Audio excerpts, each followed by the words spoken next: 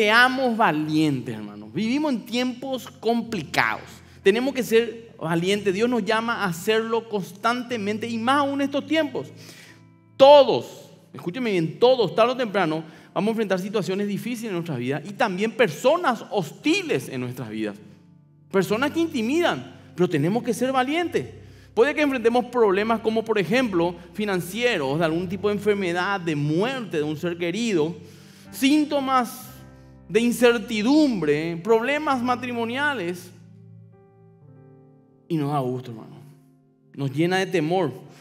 El temor y el miedo nos paraliza, nos encadena. Y necesitamos ser valientes para enfrentar todas esas situaciones. Necesitamos ser valientes para enfrentar lo que se viene desde 2023. ¿Por qué? Porque no sabemos qué puede pasar. Creemos saber qué puede pasar, pero realmente no sabemos lo que va a pasar. Confiamos en Dios, más o menos. Porque vamos a ser sinceros. Confío en ti, Señor, pero estás todavía con ansiedad, estás todavía con preocupación. ¿Confías o no confías? Yo voy a contar una anécdota rápida, que no está en mi bosquejo, pero me acuerdo. Yo voy a recordar a mi papá. Ando recordándole mucho a mi papá. Ese es un clásico también cuando yo tenía problemas en el colegio, no siempre fui tan aplicado como soy hoy, no. Era un desastre. Yo en el colegio era un desastre. Yo y mis hermanos, ¿verdad? En línea general. Yo me recuerdo que tenía problemas, normalmente era por peleas y eso, ¿verdad? Y yo me recuerdo que estaba en el colegio y me llaman la dirección. Y eh, el director ya no me decía más nada, prácticamente me decía, sentate nomás ahí, abuelo, y vamos, vamos a hacer que como que te castigamos porque la profesora me va a preguntar qué hice contigo, ¿verdad? Entonces yo me quedaba ahí y me iba, pero un día me llamó la atención y yo no sabía qué hacer y tenía un problema muy grave, muy grande era para mí el problema. Y yo no quería entrar en la oficina de mi papá porque tenía miedo de decirle. Tenía, no que me castigue, ¿verdad? Porque era una situación que yo entendí que fue en defensa propia. No sé si me explico, ¿verdad? Y dando vuelta, abría la puerta, cerraba la puerta y papá me dijo, ¿qué pasa, amigo? ¿Algún problema otra vez, verdad, me dijo? Sí, papá, ¿qué pasó? Y le cuento qué pasó.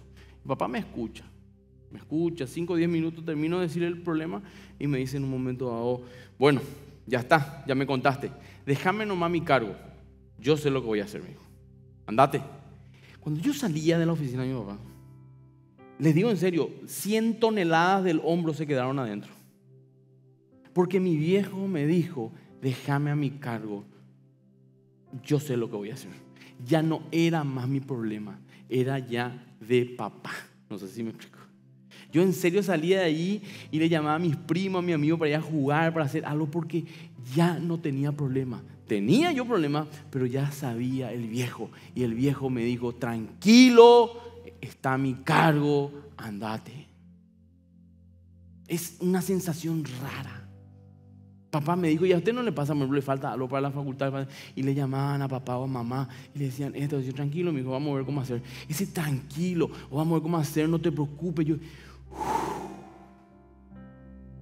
no se solucionó todavía el problema.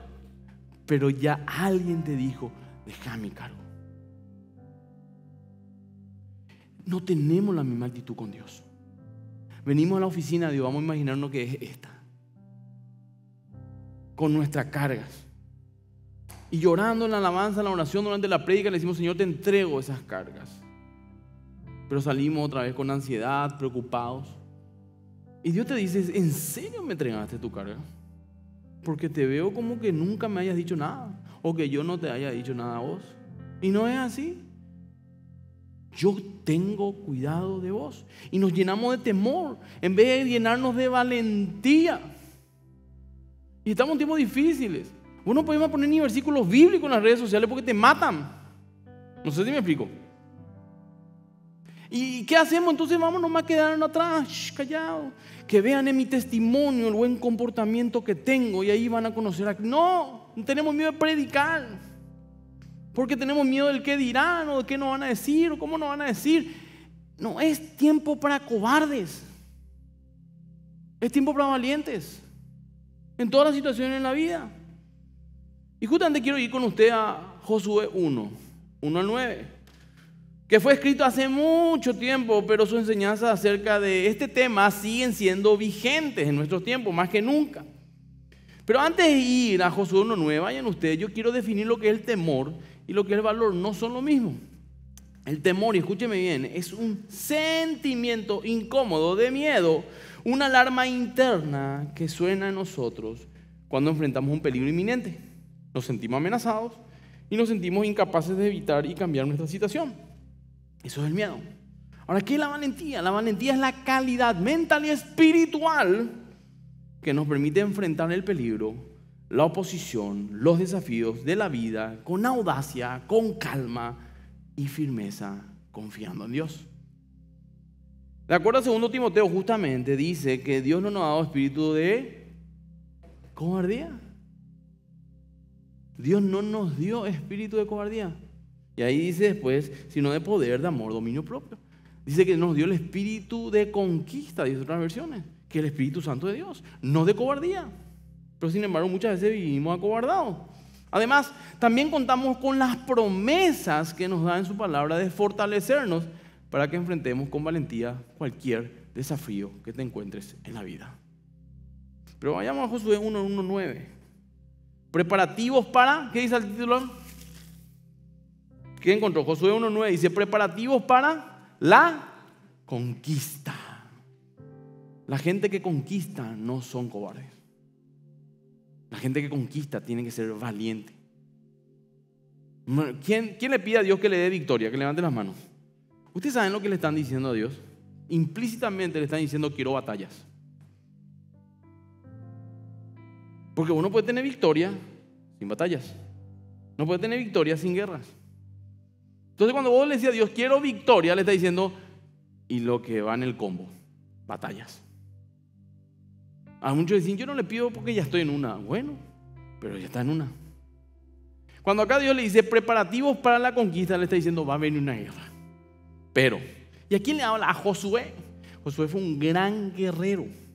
Miren, aconteció después de la muerte de Moisés, siervo de Jehová, que Jehová habló a Josué, hijo de Num, servidor de Moisés, diciendo, mi siervo Moisés ha muerto, ahora pues levántate y pasa este Jordán, tú y todo este pueblo, a la tierra que yo les voy a dar a los hijos de Israel.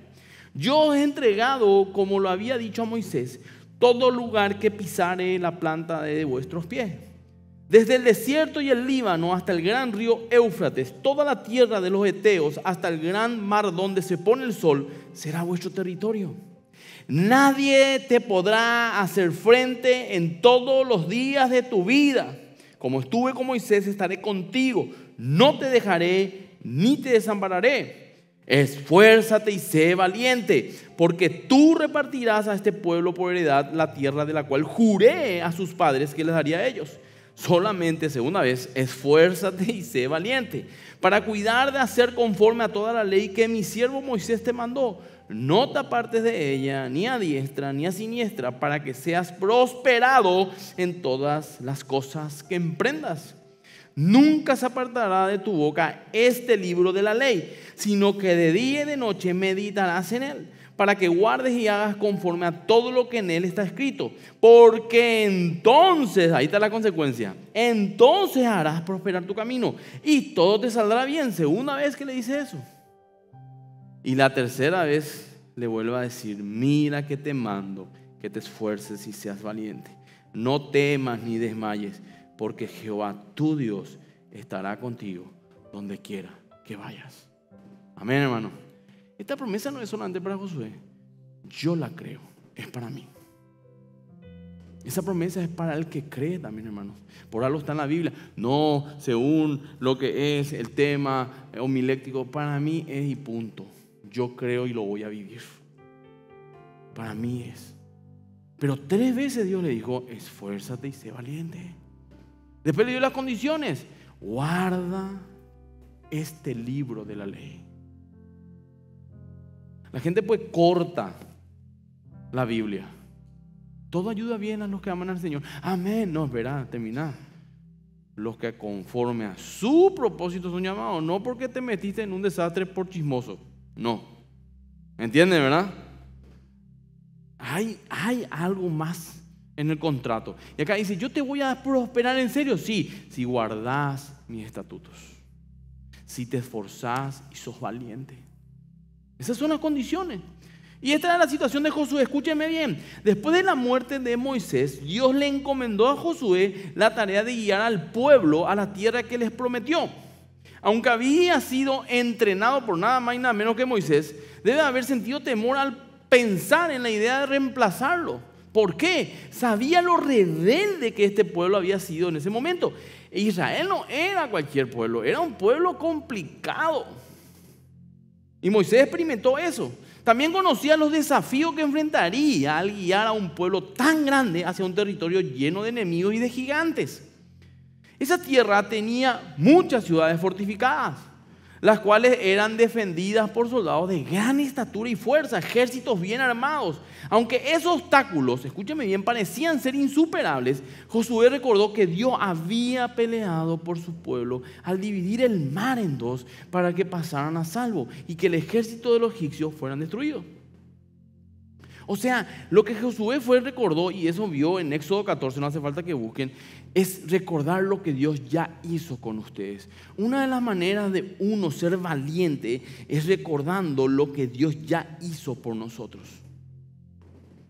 Cuando yo tengo miedo ante un desafío y veo que ese desafío es grande, yo miro atrás y me acuerdo de las veces que Dios me ayudó, me salvó y luchó por mí en inclusive situaciones peores. Y eso que hace en mí me anima a saber que ese Dios que me ayudó es el mismo que está conmigo y es el mismo que me va a seguir ayudando siempre. Eso me llena de valor, no de cobardía. Pero ¿qué hace el miedo? Ya expliqué mil veces. El miedo causa amnesia espiritual. Te hace olvidar de todo lo que Dios ya hizo contigo. Porque es, una, ah, es un arma de Satanás. Cuando vos tenés miedo, te olvidas de todo lo que ya hizo Dios contigo. Por eso es importante no temer, ser valiente. Porque al ser valiente, lo primero que te va a venir en tu mente va a ser todas aquellas veces que Dios te salvó, que Dios te ayudó. Y si lo hizo una vez, lo va a volver a hacer. Amén. Así tienes en otra actitud. No teman. Miren lo que dice justamente Éxodo 14, 13, 14. No hace falta que busquen. Pero anoten, Éxodo 14, 13, 14 dice, y Moisés dijo al pueblo, no temas, estad firmes y ved la salvación que Jehová hará hoy entre nosotros, porque los egipcios que hoy están viendo, nunca más los volverá a ver. Jehová peleará por nosotros y nosotros estaremos tranquilos. Sea, mírenle a esos que están viniendo en caballo para matarnos. Mírenle. ¿Por qué? Mírenle bien, sí. Porque va a ser la última vez que lo haga. Dios hoy nos va a entregar nuestras manos. Y así fue. Dios cierra el mar y mueren ahogados el ejército enemigo. Dios hace grandes cosas. El fundamento de la valentía, ¿cuál es? La valentía de Josué está basada, escúcheme bien, en las promesas de Dios en nada más, porque tampoco necesitaba de nada más. La valentía de él no estaba fundada en las circunstancias que parecían malas, estaban en las promesas de Dios. La valentía que tenemos nosotros hoy como creyentes proviene de la relación personal que tenemos con Dios por medio de su Hijo Jesucristo. Y en esas promesas que Él nos dio y todavía no la vimos. ¿Quién tiene promesas en su vida que todavía no las vio? Que mano. De parte de Dios. En vez de desalentarte, eso tiene que llevar a alentar tu corazón. Uy, todo lo que todavía no vi, que Dios me prometió. Yo sé que se va a cumplir. Esa es la actitud de un valiente, no. Y todo lo que me prometiste, ¿dónde está, Señor? Esa no es la actitud de un creyente. Esas promesas que todavía no viste son las que tienen que alentar tu corazón para enfrentar valientemente lo que se viene. Una vez, yo conté varias veces esta anécdota, Billy Graham, un gran predicador que ya partió en la gloria al Señor, a los 92 años le dio pulmonía. Pulmonía a los 92 años es muerte. Por la edad, por las defensas bajas al punto que se empeoró y le tuvieron que internar. Le internaron cama normal, terapia intermedia, terapia intensiva. Tres meses en terapia intensiva. Se anuncia que se le va de alta, se recuperó el viejito. Estaba bien. Y lógicamente Billy Graham en los Estados Unidos es como decir el Papa a nivel, nivel no sé, de los católicos. Era una eminencia. Todos los medios de prensa afuera esperando que salga el viejito en silla de ruedas se le quitó ahí y le preguntaban ya las preguntas. Algunas buenas y otras de periodistas malos, ¿verdad? Como en todos lados. Y uno de ellos dice, aparte de pensar que te vas a ir al cielo, ¿no tuviste miedo de morir? Claro que no. Para mí morir es ganar si yo quiero ver a Cristo, pero yo sabía que no iba a morir. ¿Por qué? Dios se te apareció en sueño. No, lo que pasa es que Dios me llamó a escribir un libro y voy recién por la mitad. ¿Cómo Dios me va a llevar antes de terminar el libro que me pidió que haga? Esa promesa que todavía no vio le dio esperanza a todo. Y después cuentan justamente en el libro, dos libros que terminó de escribir, ese y uno más. Él murió a los 99 años, 11 meses contaban y decía, papá, estamos orando por vos, no te preocupes, yo no estoy preocupado. Todavía tengo cosas que hacer, que Dios me dijo, que todavía no las hice, ¿cómo Dios me va a llevar ahora? Esto es un momento nada más. Hay veces que nosotros nos sentimos mal por el momento que vivimos y decimos, pero esto no es lo que Dios me prometió. Cierto, no es lo que Dios prometió. ¿Y por qué te desanimas? Cobra ánimo, porque esto no es el fin. Esto todavía no es lo que Dios quiere. Lo que Dios quiere está después. Vas a tener que pasar por este valle, vas a tener que pasar por este desierto, vas a tener que pasar por este mar, vas a tener que pasar por estas situaciones, pero lo que Dios te prometió se va a cumplir. Que eso te tiene de valor, de ánimo, de entusiasmo. La palabra entusiasmo viene del griego enteus, lleno de Dios. Cuando veo a una persona le dice, está, le veo entusiasmada a esa persona, lo que le está diciendo es, le veo llena de Dios que eso te entusiasme.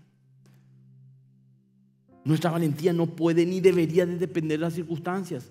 Las circunstancias y las personas son cambiantes, no son seguras. No podemos depositar toda nuestra fe y confianza en algo tan inestable. Yo tenía fe en mi marido, ese es tu problema. Yo tenía fe en mi esposa, tenía fe en mi jefe, tenía fe en, el, en el presidente, en el gobierno. Error error, error, error. Tenía fe en el clima, error. La fe tiene que estar depositada en el autor y consumador de ella, Cristo. Él no falla, todos los demás te pueden fallar, Cristo no falla. Nuestra fe tiene que estar puesta en Él.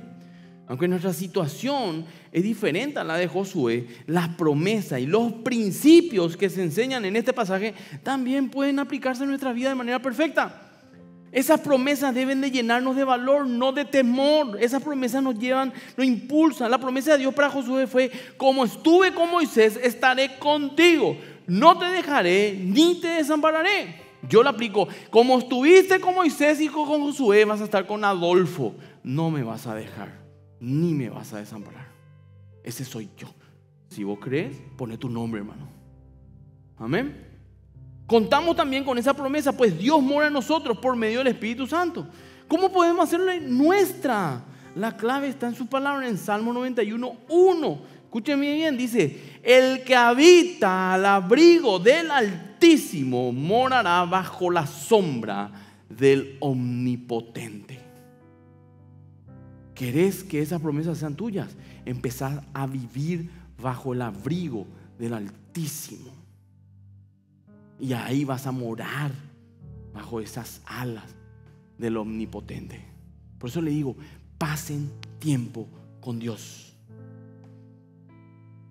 Vivan de tal manera a que no tengan miedo. Yo una vez puse en mis redes sociales y me dijo, no es tan así, pastor. Cierto, de alguna manera puede ser que no.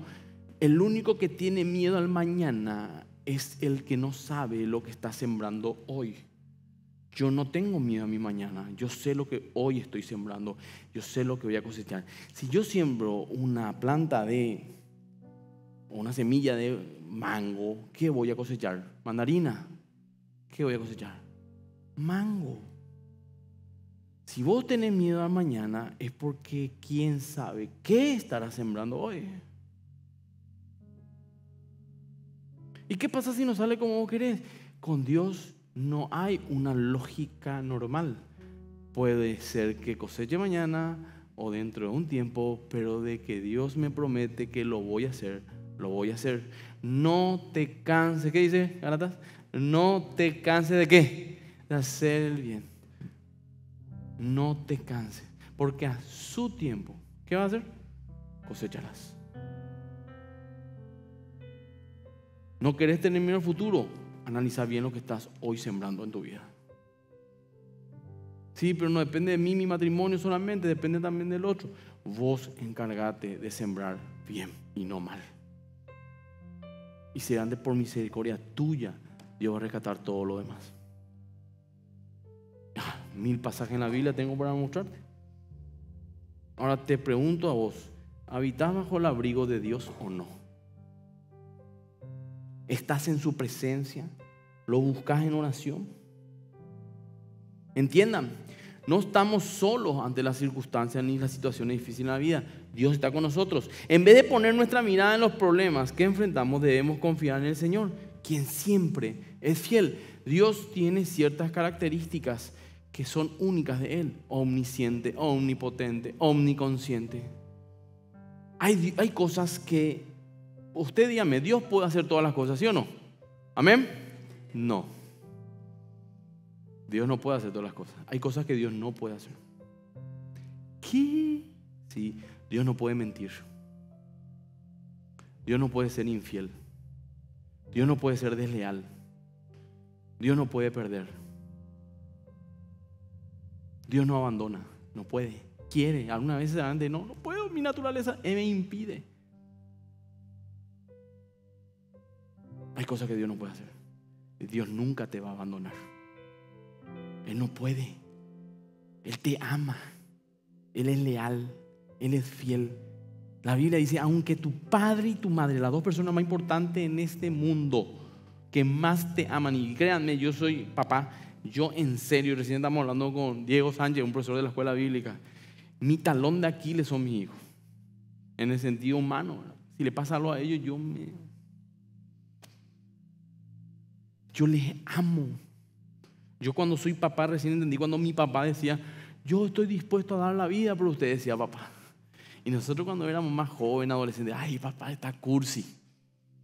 Qué loco está. Dice que él supuestamente está dispuesto hasta morir por nosotros. Qué loco que está. En tema hoy Jesucristo, ¿verdad? Hoy yo soy papá. Le quiero decir a mi hijo que lo dije en vida. Te entiendo, papá. Te creo. Yo estoy dispuesto a morir por mi hijo, pero real y genuinamente, no dudo un minuto.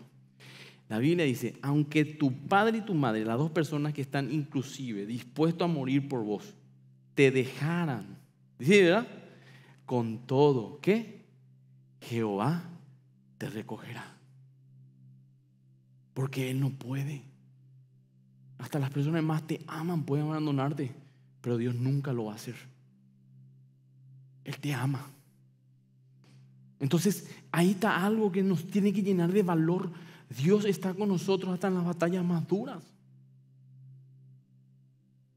Miren, Dios no le dijo a Josué un plan militar para alcanzar. Miren, en vez de poner nuestra mirada en los problemas que enfrentamos, debemos confiar en el Señor, quien siempre está ahí.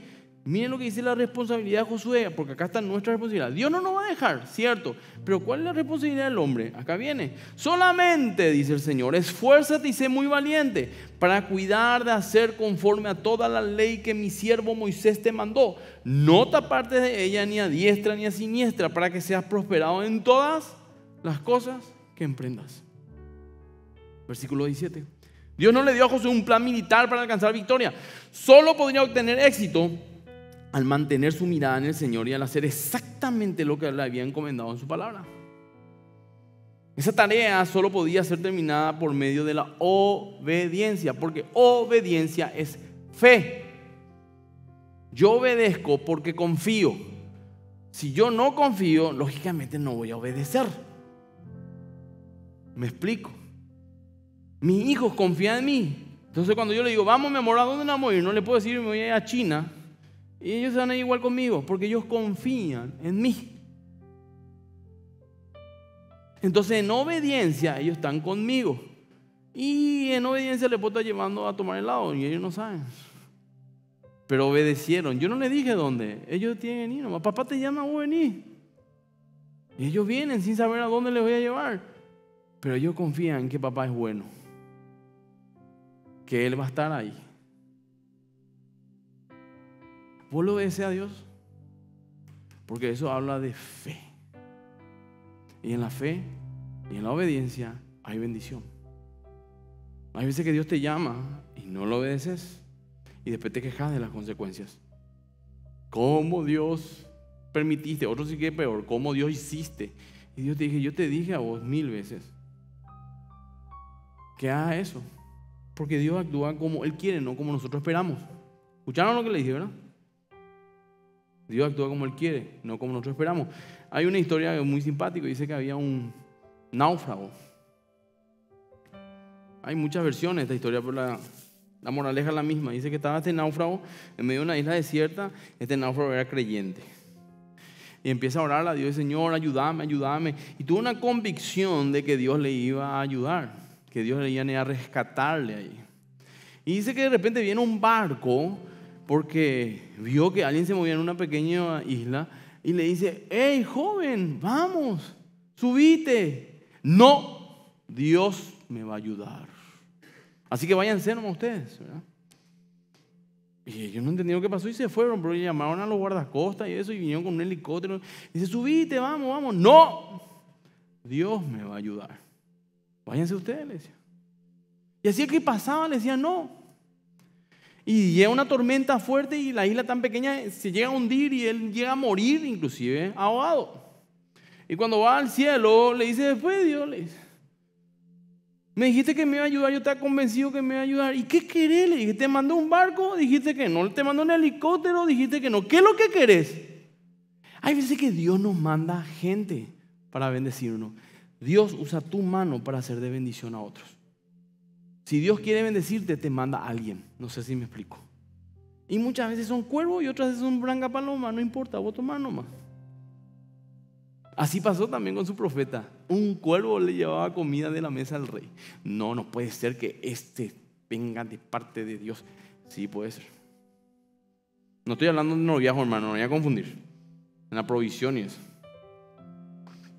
La clave para ser valiente, versículo 8 del mismo pasaje, dice, nunca se apartará de tu boca este libro de la ley, sino que de día y de noche meditarás en él, para que guardes y hagas conforme a todo lo que en él está escrito, aun porque entonces harás prosperar tu camino y todo te saldrá bien. Eso es lo que me encanta la palabra de Dios, es absoluta. El que conmigo no es, es contra mí. El que conmigo recoge, desparrama. Fuera de mí no pueden hacer nada. Y acá que dice, todo te saldrá bien. ¿Qué entra en todo? Todo. Todo te saldrá bien. La clave para tener valentía ante las tareas difíciles, escúcheme bien, radica en reflexionar diariamente en la palabra de Dios y en sus promesas. Miren bien, esto incluye cinco puntos esenciales y quiero que anoten. Primer punto, leer su palabra. Vamos a empezar por ahí, ¿verdad? Leen a la Biblia, hermano. Es importante conocer lo que Dios ha expresado en la palabra. Hay un principio básico que dice que no podemos amar lo que no conocemos. No podemos amar lo que no conocemos. No podemos decir que amamos a Dios y no leemos su palabra, por ejemplo. En su palabra lo conocemos a Él, porque Él es su palabra. ¿Entienden, hermanos? Segundo, después de leer, tenés que creer. Debemos de creer en su palabra y en las promesas que Él nos da ahí. También, y escúcheme bien, se desprende el principio básico de que no podemos confiar en quien no conocemos. No podemos anclarnos seguros en una promesa de Él si no leemos y creemos en donde la encontramos, que es la Biblia. Esto es como una cadena de varios eslabones. Y si falta uno, la secuencia se rompe y no sirve de nada. Entonces tenemos que leer su palabra, tenemos que creer en ella, tenemos que reflexionar en ella. No es leer y creer nada más, sino que meditar en ella. Lo próximo es meditar en sus enseñanzas para que podamos comprender y dejarnos guiar por ellas. En Salmos 1.2 pueden anotar, no hace falta que busquen, dice, sino que en la ley de Jehová está su delicia. Y en su ley medita de día y de... De día y de... Meditamos en su palabra de día y de noche. Está tu Biblia en los lugares más importantes. Por ejemplo, tu mesita de luz, tu escritorio. Está tu Biblia en tu bolsón para ir a la facultad, pero no tiene nada que... No importa. A mí me gusta la, la Biblia grande, con letra grande, y le mandé a hacer un forro de cuero. Y esta es mi Biblia, dije. Ustedes saben lo difícil que es viajar con una Biblia que pesa por lo menos un kilo y medio, hermano. Y, no quiero llevar algunas veces. Y Dios me dice, ¿y para eso quisiste así de grande? Por eso van a ver la Biblia del pastor Emilio chiquitito. Pero la de tener, eh, bueno, usa lente, yo no, ¿verdad? Pero yo llevo mi Biblia en todos lados, hermano. Hay veces que tengo que quitar ropa y eso porque en el avión por ejemplo, no te dejan hasta cierto kilaje, pero mi Biblia no es opción. Dejo cosas, pero no dije, y deja nomás ese y no. Mi Biblia es lo más importante. Es mi arma. Ustedes saben qué pasa cuando mucha gente es secuestrada en los países. Eh, le preguntaron a un guerrillero en Colombia eh, normalmente los guerrilleros tienen un cierto nivel de conciencia, entre paréntesis, que le dicen a la persona que va a ser secuestrada, anda a buscar ropa, eh, otro zapato y algo más que quiera en un bolsón y trae. 90% se van a traer esa ropa y traen una Biblia aunque sea rota. Pero llevan. Gente que en su vida tocó la Biblia, busca una en su armario y lleva consigo, porque se van a ir a la guerra. No llevan una novela de Harry Potter, no llevan algún autor motivacional, buscan la palabra de Dios. ¿Por qué será? Algunos dicen que llevan los pequeños libritos de los Gedeones, ¿vieron ese del Nuevo Testamento? Porque a la hora de la verdad Solo en esta, en este libro, entre comillas, está la esperanza, la vida eterna, el consuelo. No lo digo yo, son guerrilleros que hoy son muchos de ellos convertidos, muchos de ellos se convierten en qué es lo que todo traen en este libro. Pues son muchos de ellos son ateos, son comunistas, es su línea. Y muchos se convierten porque ven la actitud de eso. El famoso dicho dice, no hay ateo en la trinchera. ¿Conocen ese dicho? Eso es cierto tenemos que aplicar. Acá viene lo Entonces tenemos que leer, tenemos que creer, tenemos que eh, reflexionar y tenemos que aplicar. En Santiago 1.22 dice, mas sed hacedores de la palabra y no tan solo oidores, engañándonos a vosotros mismos. O sea, lo que te está diciendo acá Santiago es, ¿para qué lees en algo que no vas a terminar aplicando a tu vida? Es como que yo te estoy dando un arma, porque la Biblia es un arma, pero vos nunca apretar el gatillo. No sirve de nada en tus manos. Tenemos que ser hacedores de la palabra. Tenemos que aplicar lo que aprendemos. Hoy estamos acá más que vencedores. Yo le estoy diciendo, sean valientes, hagan esto, hagan aquello.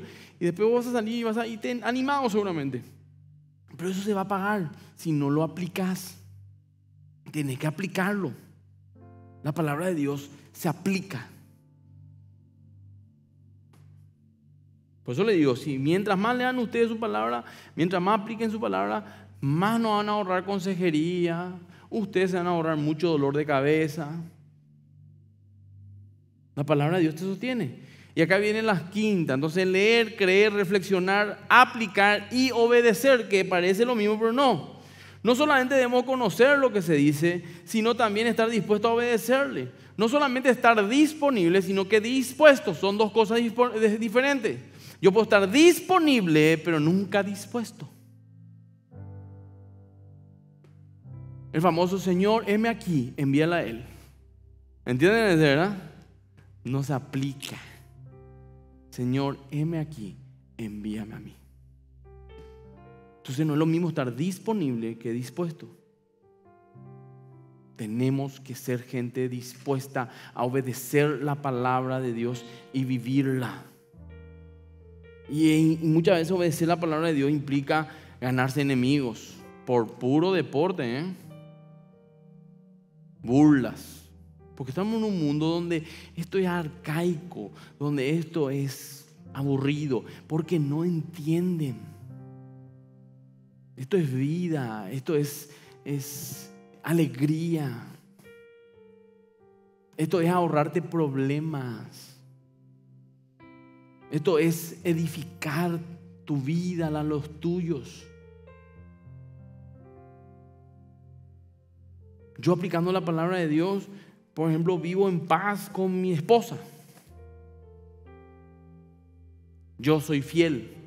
No tengo ni remotamente miedo de que alguien mínimamente insinúe que pudo haberle dicho algo raro. Yo dejo mi celular una vez en mi casa porque me olvido. Yo tengo dos celulares. Uno el corporativo acá de la iglesia y el otro el que tuve toda mi vida. Y una vez se me olvidó uno de los dos, ¿verdad? Y no estoy volviendo de cualquier lado para buscar mi celular desesperado, atropellando semáforos, gente y todo para que mi esposa no agarre.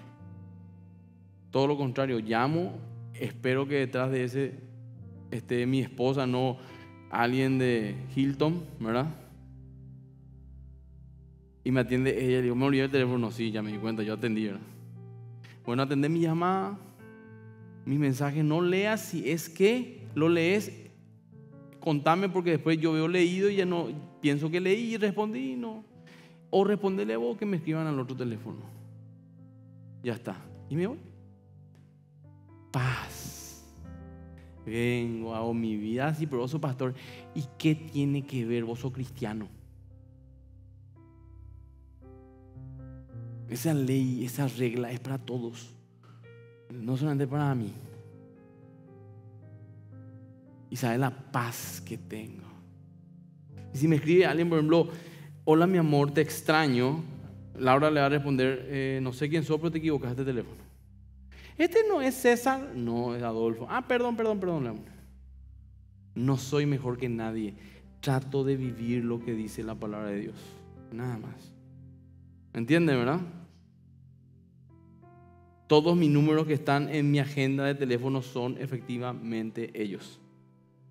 No es, compañero y ya sabemos quién es. ¿Mm? ¿Entienden? Eh, todas las técnicas yo sé porque hacemos consejería, hermano. ¿Cómo es lo que saben todo el pastor? ¿Y por qué hablo con ustedes? Las cosas que se aprenden, no me sirve nada nomás porque no pienso hacer nada de eso, ¿verdad? Entonces, pórtense bien. ¿Y qué dice la palabra? Eso no es da gusto ser libre. Ah, ustedes como cristianos no son libres. No, yo soy libre.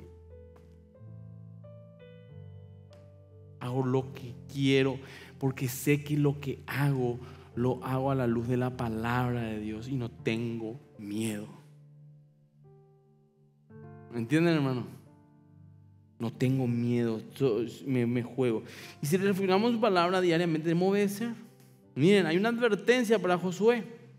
El Señor de manera específica, y con esto vamos a ir terminando porque me quedan unos dos minutos, le dijo a Josué lo que tenía que hacer para lograr con éxito la, la misión que se le había encomendado. En el versículo 8 le dice, para que guardes y hagas conforme a lo, a lo que está escrito en él.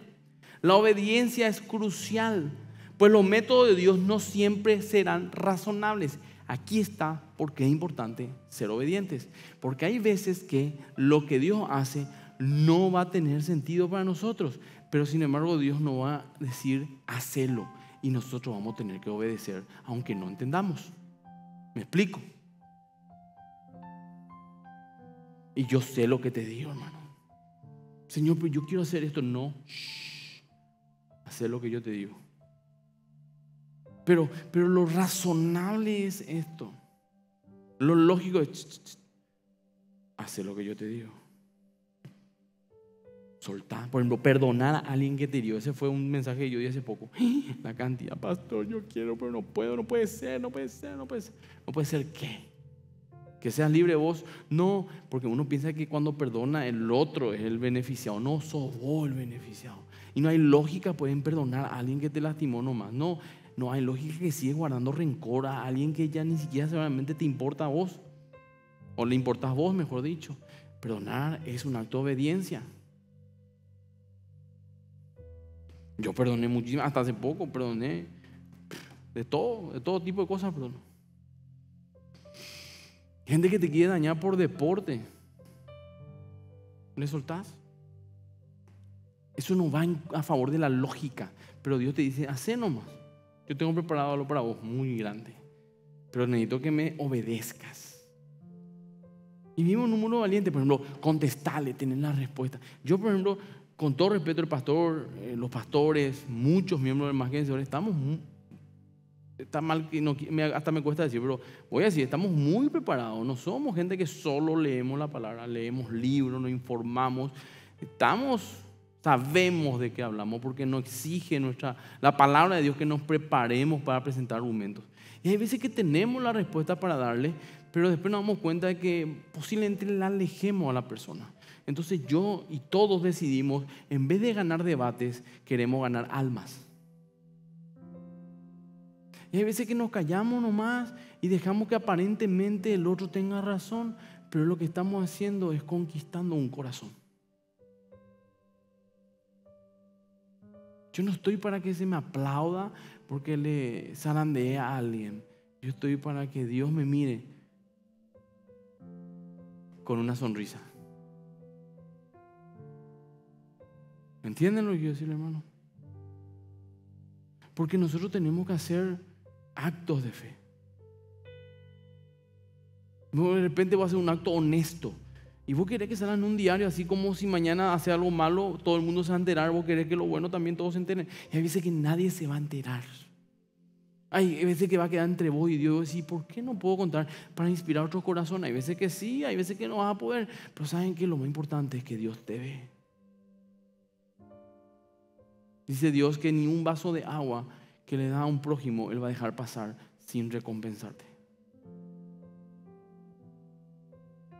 Entonces tenemos que seguir haciendo lo correcto, aunque el mundo nos insta a hacer lo malo. Tenemos que seguir siendo valientes, aunque tengamos miedo de salir afuera. Porque es realmente de miedo hacerlo honesto en un mundo donde todo está preparado para que mientas, para que seas violento, para que te jactes. El mundo está preparado, el sistema está preparado.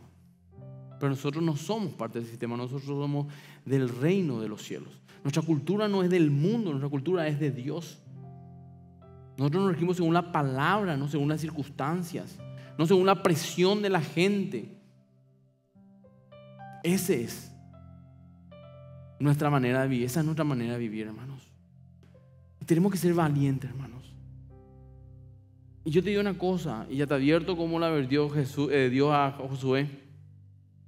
Esforzate y sé valiente. No va a ser fácil.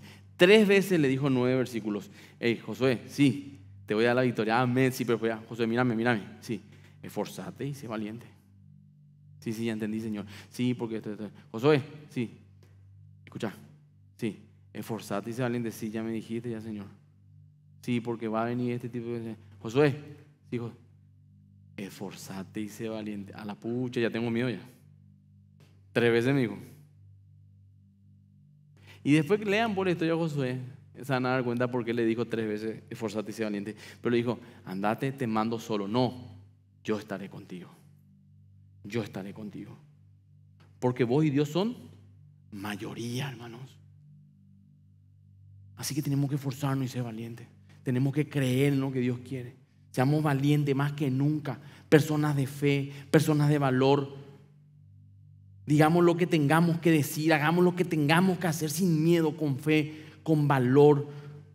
Luchar por nuestros hogares, luchar por nuestra casa, valientemente, aunque muchas veces no veamos que pase algo, ser valiente y continuar luchando. Seguir caminando sobre nuestros propósitos.